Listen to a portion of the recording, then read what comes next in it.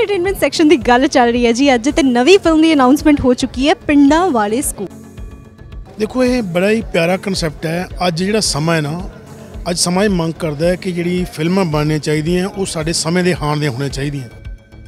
ਬੱਚੇ ਨੂੰ ਇਹ ਲੱਗਦਾ ਹੁੰਦਾ ਹੈ ਕਿ ਜਿਹੜਾ ਮੇਰਾ ਪਾਪਾ ਹੈ ਮੇਰਾ ਡੈਡੀ ਹੈ, ਮੇਰਾ ਬਾਪੂ ਹੈ, ਉਹ ਦੁਨੀਆ ਦਾ ਬੈਸਟ ਬਾਪੂ ਹੈ।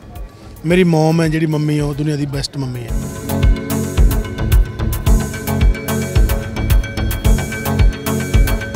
ਸਾਰੀਆਂ ਸਹੂਲਤਾਂ ਨੇ ਮਤਲਬ। ਇੱਕ ਬਹੁਤ ਅੱਛਾ ਬੈਗ ਹੈ, ਬਹੁਤ ਅੱਛਾ ਪੈਨ ਹੈ ਲਿਖਣ ਲਈ।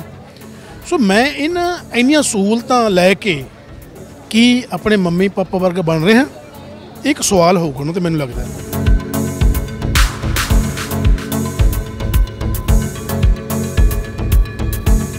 ਸੋ ਇਸ ਫਿਲਮ ਦੇ ਵਿੱਚ ਜਿਹੜਾ ਕਰੈਕਟਰ ਹੈ, ਮੈਂ ਇਸ ਫਿਲਮ ਦੀ ਇੱਕ ਹੀਰੋਇਨ ਹੈ ਜਿਹੜੀ, ਉਹਦੇ ਫਾਦਰ ਦਾ ਰੋਲ ਪਲੇ ਕਰ ਰਿਹਾ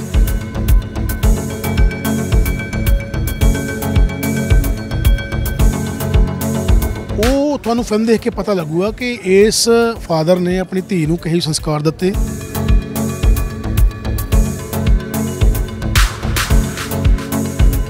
ਬੱਚਿਆਂ ਦੇ ਸੋਚਣ ਦਾ ਨਜ਼ਰੀਆ ਬਣਾ ਸਕਦੇ ਹਾਂ, ਉਹਨਾਂ ਨੂੰ ਇੱਕ ਨਵੀਂ ਸੋਚ ਦੇ ਸਕਦੇ ਹਾਂ ਕਿ ਅਸੀਂ ਸਮਾਜ ਨੂੰ ਕਿਹੜੇ ਪਾਸੇ ਲੈ ਕੇ ਜਾਣਾ ਹੈ, ਇਹ ਤੁਸੀਂ ਬੱਚਿਆਂ 'ਚ ਕੰਮ ਕਰ ਸਕਦੇ ਹੋ, ਵੱਡਿਆਂ 'ਚ ਨਹੀਂ ਕਰ ਸਕਦੇ। ਵੱਡੇ ਤਾਂ ਕਹਿੰਦੇ ਵਾਰਸ਼ਾਂ ਆਦਤਾਂ ਜਾਂਦੀਆਂ, ਉਹਨੇ ਆਦਤਾਂ ਹੀ ਨਹੀਂ ਪੱਕੀਆਂ। ਮੈਂ ਕੱਟੀਏ ਪੂਰੀਆਂ ਪੂਰੀਆਂ ਜੀ।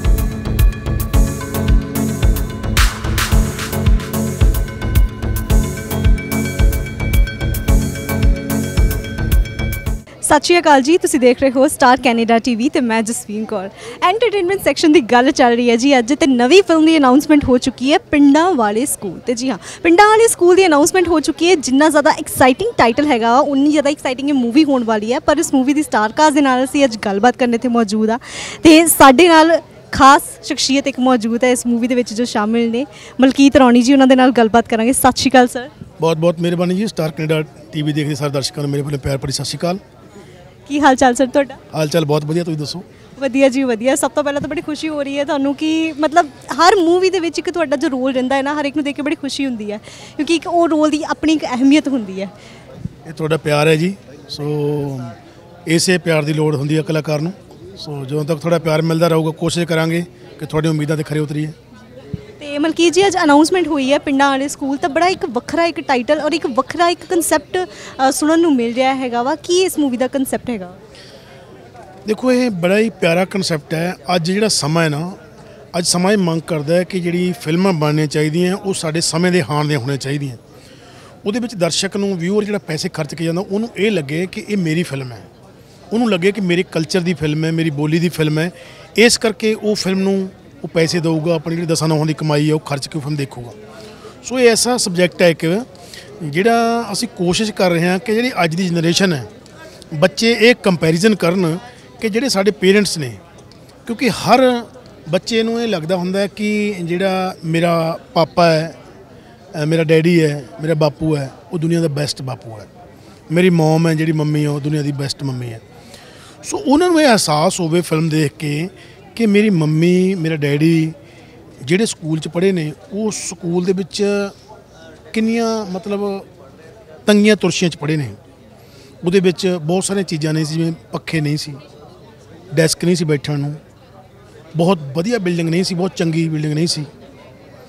ਸੋ ਉਹ ਸਾਰੀਆਂ ਤੰਗੀਆਂ ਤੁਰਸ਼ੀਆਂ ਕੱਟਦੇ ਹੋਏ ਉਹ ਫਿਰ ਵੀ ਮੇਰੇ ਬੈਸਟ ਪਾਪਾ ਬਣੇ, ਮੇਰੀ ਬੈਸਟ ਮੰਮੀ ਬਣੀ।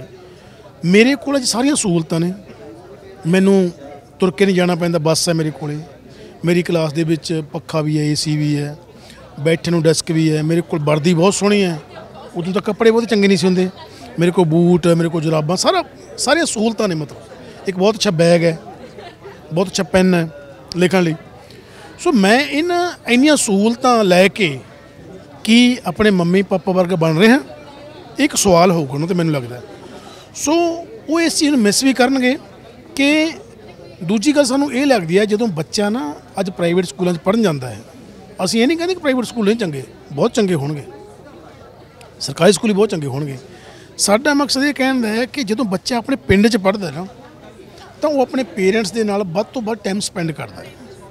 ਉਹ ਆਪਣੀ ਮੰਮੀ ਨੂੰ ਦੇਖਦਾ ਹੈ ਕਿ ਮੇਰੀ ਮੰਮੀ ਗੁਆਂਢਣਾਂ ਨਾਲ ਕਿਹੋ ਜਿਹੀਆਂ ਗੱਲਾਂ ਕਰਦੀ ਉਹਦਾ ਵਰਤਾਰਾ ਕਿਹੋ ਜਿਹਾ ਮੇਰੇ ਫਾਦਰ ਸਾਹਿਬ ਜਦੋਂ ਪਿੰਡ ਦੇ ਲੋਕਾਂ ਦੇ ਵਿਆਹਾਂ ਸ਼ਾਦੀਆਂ ਜਾਂਦੇ ਨੇ, ਉਹਨਾਂ ਨਾਲ ਗੱਲਬਾਤ ਕਰਦੇ ਨੇ ਤਾਂ ਉਹਨਾਂ ਦਾ ਵਰਤਵਾਰਾ ਕਿਹੋ ਜਿਹਾ ਹੈ? ਸੋ ਉਹ ਦੇਖ ਕੇ ਉਹਨੂੰ ਪਤਾ ਲੱਗਦਾ ਕਿ ਮੇਰਾ ਕਲਚਰ ਕੀ ਹੈ। ਸੋ ਮੈਂ ਕਿਹੋ ਜਿਹੇ ਕਲਚਰ ਜਿਉਣਾ ਫਿਰ ਉਹ ਵੱਡਾ ਹੋ ਕੇ ਪੇਰੈਂਟਸ ਦਾ ਸਤਿਕਾਰ ਕਰਦਾ ਵੱਡਾ ਹੋ ਕੇ ਪੇਰੈਂਟਸ ਦੀ ਇੱਜ਼ਤ ਕਰਦਾ ਹੈ। ਉਹਨੂੰ ਫਿਰ ਲੱਗਦਾ ਕਿ ਮੇਰੇ ਮਾਂ-ਬਾਪ ਹੁਣ ਤੱਕ ਤੰਗੀਆਂ ਤੁਰਸ਼ੀਆਂ ਲੈ ਕੇ ਮੈਨੂੰ ਪੜਾਉਂਦੇ ਰਹੇ ਨੇ। ਪਰ ਮੈਂ ਅੱਜ ਇਹਨਾਂ ਨੂੰ ਤੰਗੀਆਂ ਤੁਰਸ਼ੀਆਂ ਚੋਂ ਕੱਢਣਾ ਕਿਉਂਕਿ ਮੈਂ ਸਖਾਲਾ ਹੋ ਗਿਆ। ਪਰ ਅੱਜ ਹੋ ਕੀ ਰਿਹਾ ਹੈ? ਅੱਜ ਉਹ ਤੋਂ ਉਲਟ ਹੋ ਰਿਹਾ ਹੈ, ਅਸੀਂ ਬੱਚੇ ਨੂੰ ਮਸ਼ੀਨ ਬਣਾਤਾ। ਬੇਟਾ, ਇੰਨੇ ਵਜੇ ਉੱਠਣਾ ਹੈ। ਸਕੂਲ ਜਾਣਾ ਉਹਨੂੰ ਸਕੂਲ ਜਾਣ ਨੂੰ ਟਾਈਮ ਲੱਗਦਾ ਕਿਉਂਕਿ ਦੂਰ ਜਾਂਦਾ ਉਹ।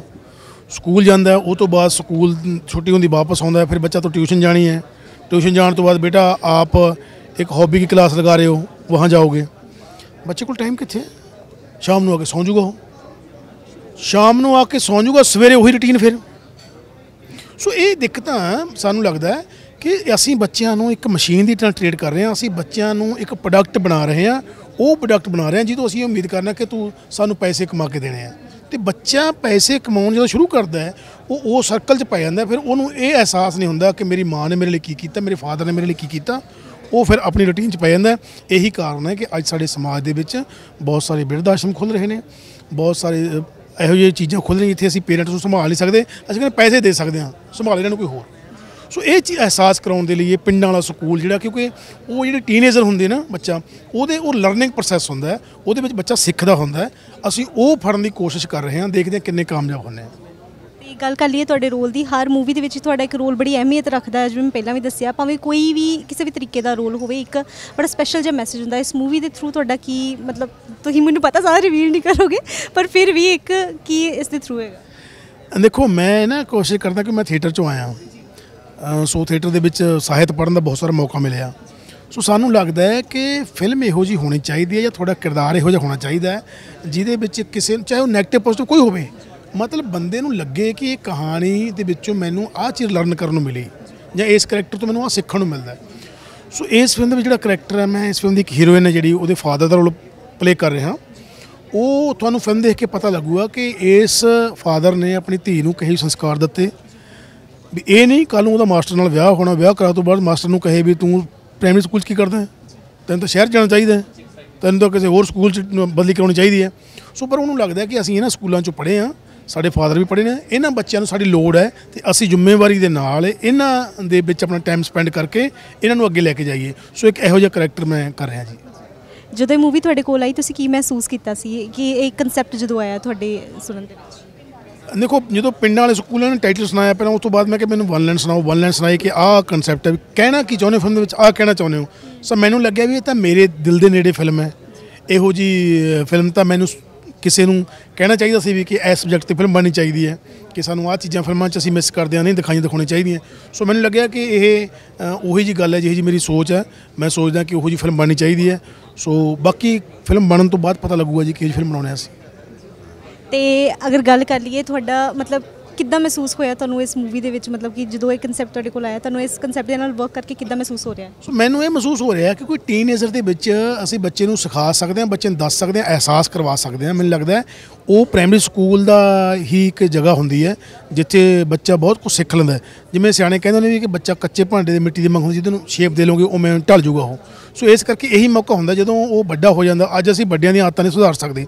ਇਸ ਕਰਕੇ ਬੱਚਿਆਂ ਵਿੱਚ ਕੰਮ ਕਰਨ ਦੀ ਲੋੜ ਹੈ।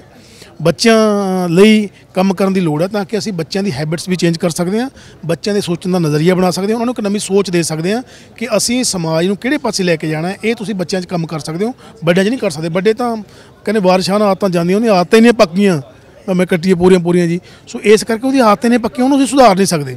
ਜਿਹੜੇ ਹਜੇ ਸਿੱਖ ਰਹੇ ਨੇ, ਉਹਨੂੰ ਤੁਸੀਂ ਮੋਲਡ ਕਰਕੇ ਦੱਸ ਸਕਦੇ ਹੋ ਕਿ ਜਿਹੋ ਜਿਹਾ ਤੁਹਾਡੇ ਬੱਚੇ ਹੋਣਗੇ, ਉਹ ਤੁਹਾਡਾ ਸਮਾਜ ਹੋਊਗਾ ਇਹ ਬਿਲਕੁਲ ਸਾਫ਼ ਗੱਲ ਹੈ।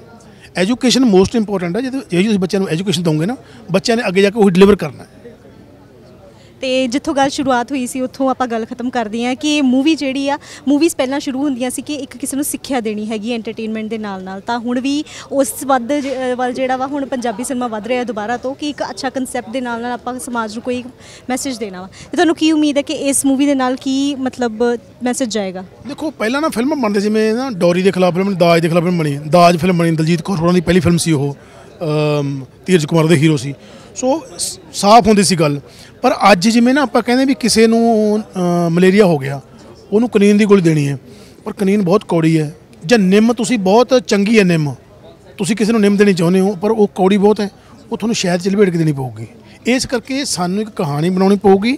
ਇੰਟਰਸਟਿੰਗ ਕਹਾਣੀ ਬਣਾਉਣੀ ਪਊਗੀ। ਨਾਲ ਦੀ ਨਾਲ ਤੁਹਾਨੂੰ ਲੋਕਾਂ ਦਾ ਐਂਟਰਟੇਨਮੈਂਟ ਵੀ ਕਰਨਾ ਪਊਗਾ। ਐਂਟਰਟੇਨਮੈਂਟ ਦੇ ਨਾਲ ਨਾਲ ਤੁਸੀਂ ਆਪਣੀ ਸਿੱਖਿਆ ਦੋਗੇ ਕਿ ਅਸੀਂ ਆਹ ਗੱਲ ਕਹਿਣੀ ਚਾਹੁੰਦੇ ਆ ਇਹ ਗੱਲ ਸਮਾਜ ਦੇ ਵਿੱਚ ਅੱਗੇ ਆਉਣੀ ਚਾਹੀਦੀ ਹੈ। ਮਤਲਬ ਸਿਨੇਮੇ ਨੂੰ ਕੱਲਾ ਇਹ ਨਾ ਸਮਝੋ ਕਿ ਸਿਨੇਮਾ ਮਨੋਰੰਜਨ ਦਾ ਸਾਧਨ ਹੈ।